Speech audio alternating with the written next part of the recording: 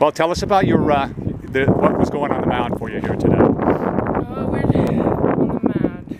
What was working for you, pitching wise? Yeah. Um, my my change started a little rough, but then it came through um, as the innings went on.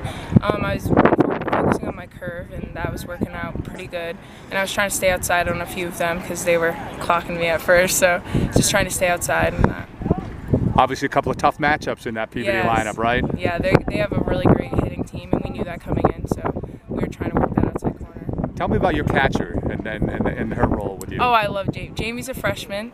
Uh, she she's great. She uh, our regular catcher Molly Pierce. She tore ACL this year, and she's usually I've been working with her all winter. But um, Jamie came in and she stepped up and she did her job and she's doing great.